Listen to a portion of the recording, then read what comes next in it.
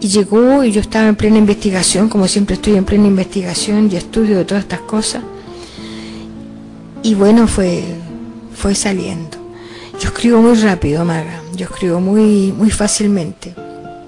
Pero este poema me fue difícil de escribir como el de Neruda, porque, porque la emoción era tan grande, el sentimiento que, que venía vehiculando todo esto era tan enorme que me impedía me impedía escribir. Entonces yo escribía una parte de un poema, tenía que parar un mes o dos meses para rehacerme, eh, rehacer mi raciocinio. Sí. Porque escribir te complica también, no solo tienes que transmitir sensaciones, eh, sentimientos, eh, pero también tiene que haber un cierto, una cierta elaboración del lenguaje. El lenguaje es poderoso porque está elaborado, porque está bien conjugado, si no, no te lleva a ninguna parte. Y, entonces esa, esa labor no se puede hacer en medio de una emoción que te avasalle. Y por eso se demoró, me demoré en escribir este poema como unos seis meses. Sí, más. Sí, sí. Y como te digo, no lo escribí ahora, lo escribí hace varios años. Yo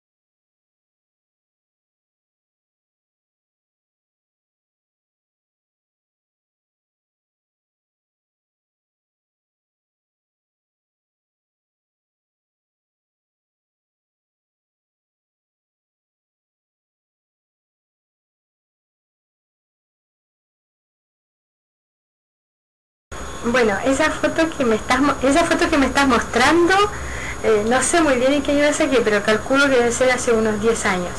Eh, me veo mucho más joven que ahora, con más pelo que ahora, sin anteojos, con lente de contacto. Eh, estaba, es una foto recortada. abajo ah, figuraban dos grandes amigos, de, pero de otra generación que ya partieron al otro lado. Y, bueno, y estaba muy contenta de, estar con ellos y de hablar en castellano porque hablo todo el tiempo francés. y bueno.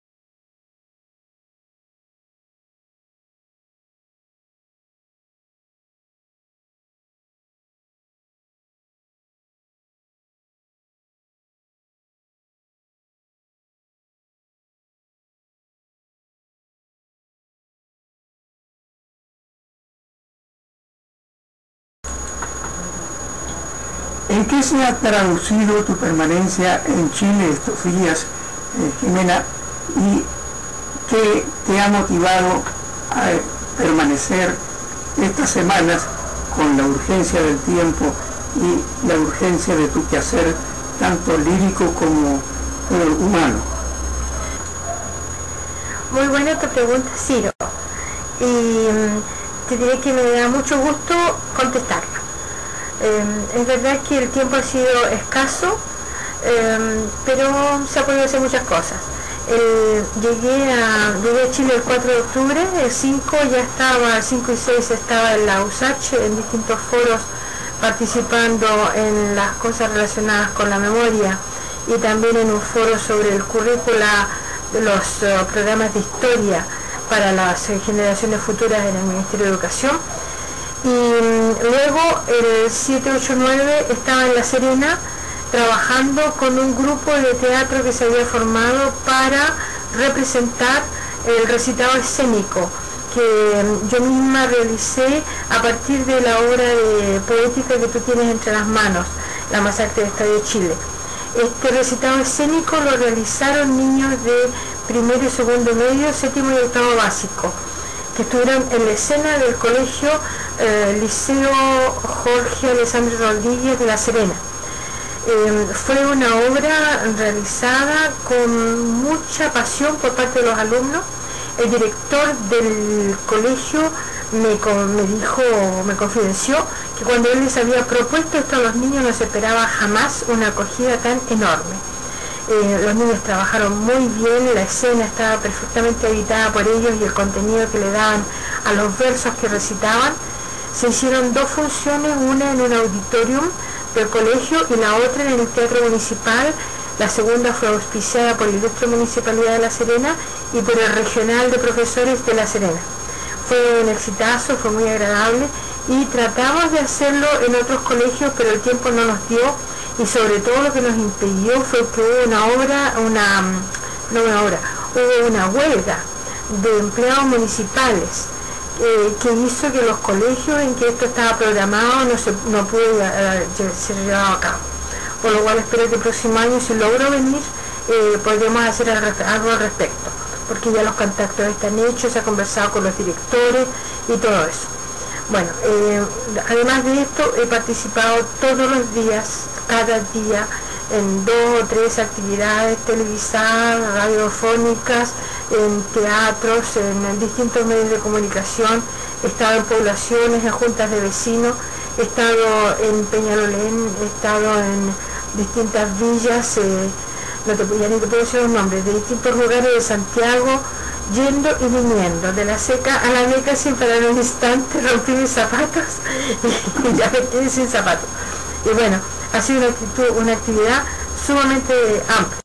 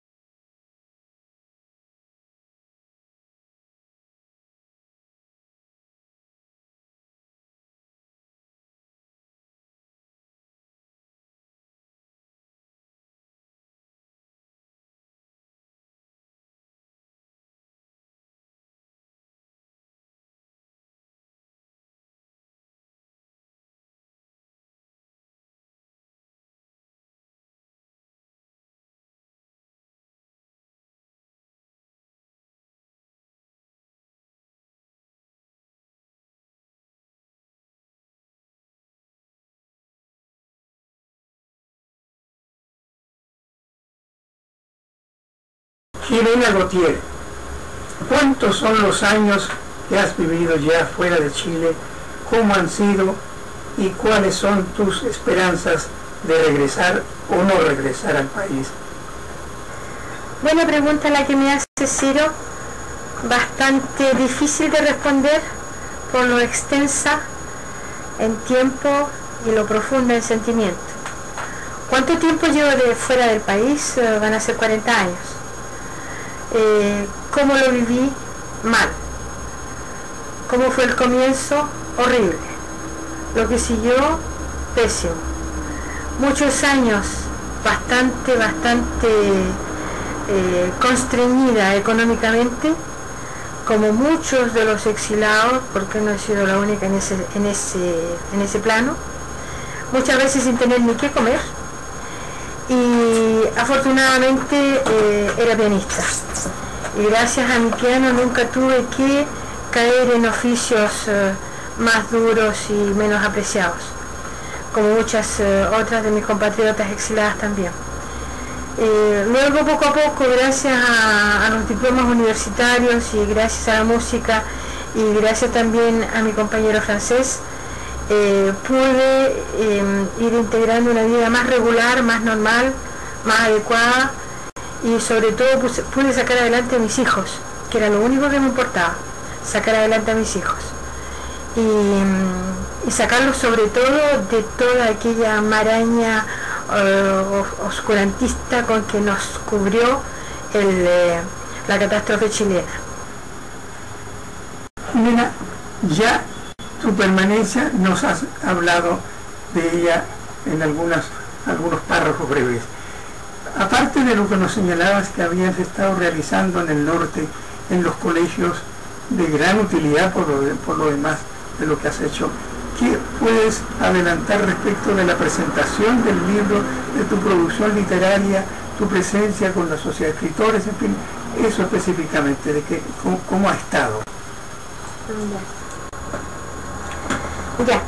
Em, respecto a la presentación del libro, esta fue hecha el 30 de octubre en la Sociedad de Escritores de Chile lo presentaron el libro el presidente de la Sociedad de Escritores de Chile, Víctor Sáez, y em, hizo el análisis eh, eh, magistral literario del libro la magíster en literatura, la señora Rosa Alcallada, poeta, del directorio de la Sociedad de Escritores también. Em, debo decir que agradezco a Sam Facebook el hecho de haber podido contactar por su, por su intermedio a estos compañeros, Víctor y Rosa, a quienes no conocía y que me acogieron los brazos abiertos eh, para presentar y divulgar mi libro. Se hizo una ceremonia muy bonita y, y después se hizo un vino de honor al cual no fuiste convidado, sino porque no estábamos juntos en ese momento. Y bueno, fue todo muy simpático. Hubo también la actuación de una poetisa chilena que se llama Julia Ortiz, que leyó un poema que me dedicó y que no me merezco, por supuesto, en el cual me ensalza y dice cosas maravillosas acerca de una persona que seguramente se llama como yo, pero no, no, me lo merezco.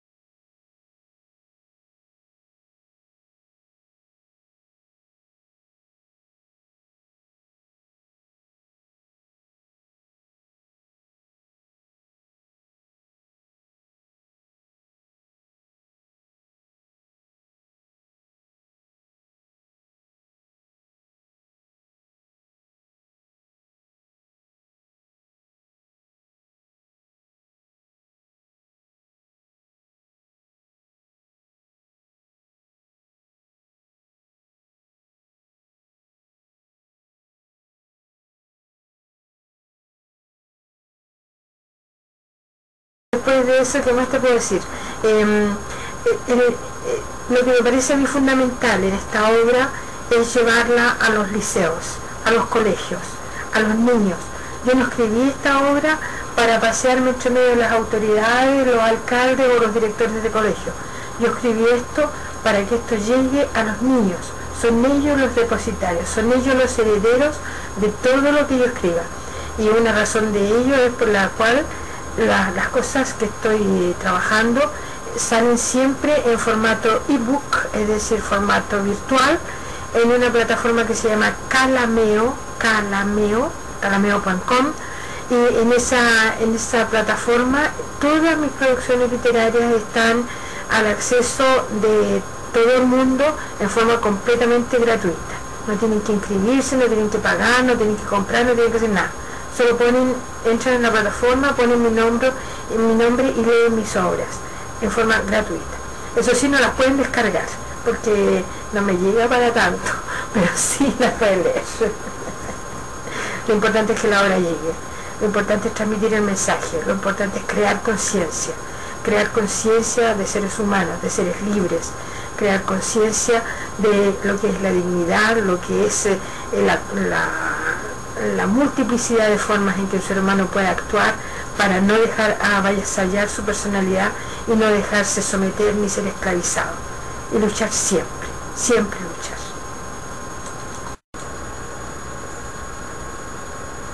Nos queda solamente darte las gracias, Jimena Gautier Greve. Gracias por tu presencia estos días en Santiago y gracias por todo el trabajo de difusión que realizaste tanto de tu obra como del trabajo que puedes efectuar. Gracias a ti, Ciro.